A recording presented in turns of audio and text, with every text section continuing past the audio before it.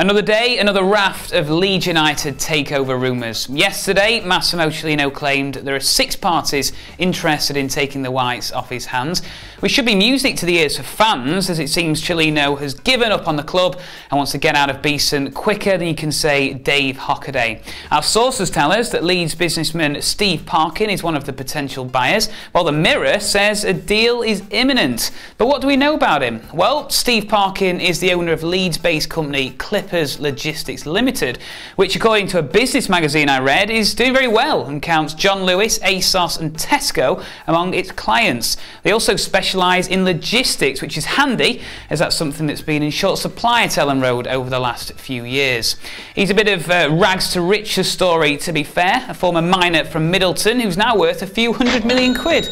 Parkin said he hates talking to the press, which is in stark contrast to Cellino. He also owns non-league Guiseley and tried to buy by Leeds two years ago, but pulled out after inspecting the club's books.